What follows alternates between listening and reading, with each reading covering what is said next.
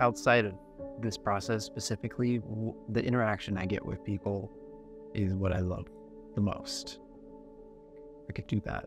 If I could do that with any camera, like it, it doesn't matter. I'm Noyel Gallimore. I am a portrait artist and mostly known as wet plate photographer in Portland, Oregon. My experience with photography has been a, a lifelong journey. I had a I've had a camera in my hand since I was a little kid. My grandmother was a huge influence as she um, loved taking pictures. She always had a camera. And she would travel the country a lot and um, took I have bins full of photographs that she made.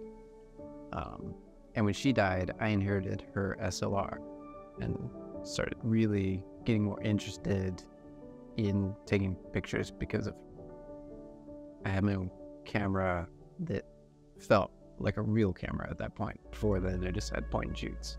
As I sort of explored photography, I found myself realizing I took pictures with a very journalistic approach, documenting places, memories, emotions, and people.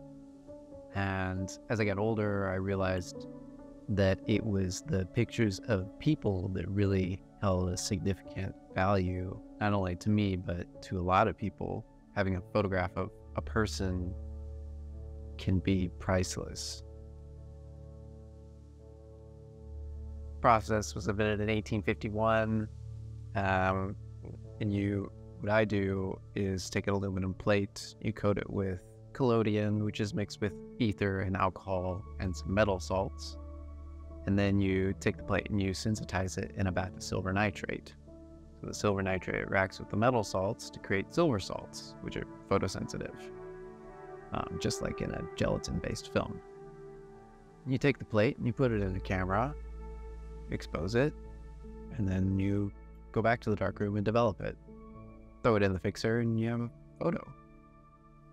Um, yeah, when people come to me in the studio, they're often terrified. They're they're anxious, they're nervous, they're scared. They're like don't know what to expect.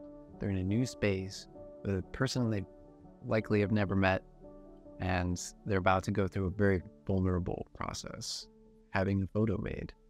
So I take all the time it takes to first establish their comfort. Um, and usually it only takes about 30 minutes just talking, ask them like what they like to do with their time and like how they discovered my work and why it interests them and why they want to photograph.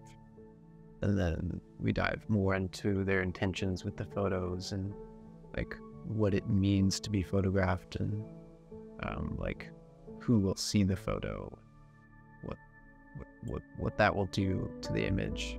That really helps people get more comfortable, feel more vulnerable, and mm-hmm. like safe in the space.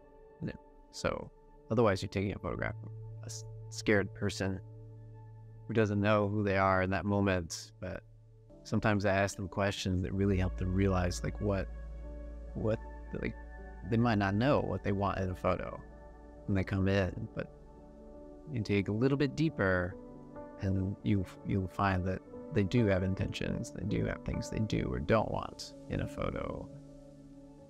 They see an appeal in having a tangible image.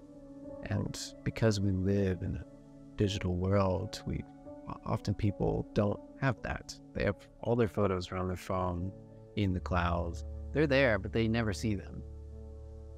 Uh, but so having a physical copy of a, of a photo can really give it more presence in your life because you see it. I've always been more inclined to use analog photography. It's slow. It requires more intention. It's like you only get so many shots on a roll of film. With this process, you get one shot per plate. You put a lot of time and energy into a single image, um, so you make it worth it. You really put, really put a lot of care into that photo. The fact that this process requires so much hands on through each step. Like, in, I make my own film essentially. You know, I mix the chemistry, I pour the plate, I prepare all the solutions, and that is really satisfying for me. I used to be a furniture maker, so I like I like making things with my hands.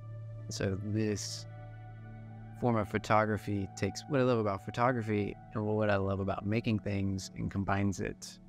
So it really puts my skills to the test. My my first 4x5 camera is probably my favorite of all the that I use with this process. Um, it's what got me started, and it's a beautiful. It's that one right behind you. It's it's a beautiful camera, made in Japan, and it's a treat to use. There was there's a photographer in Portland named Jim Hare, who uh, I just love his work. He like takes the photos that I want to take. He goes out into the world with his camera. He talks to random people, gets their story, makes a beautiful portrait of them, and like that's like the ideal lifestyle for me. Hopefully, one day when I'm his age, like I'll be doing that. Sounds great. But being a secret admirer of him, I reached out to him and was like, "Hey, I would love to meet you."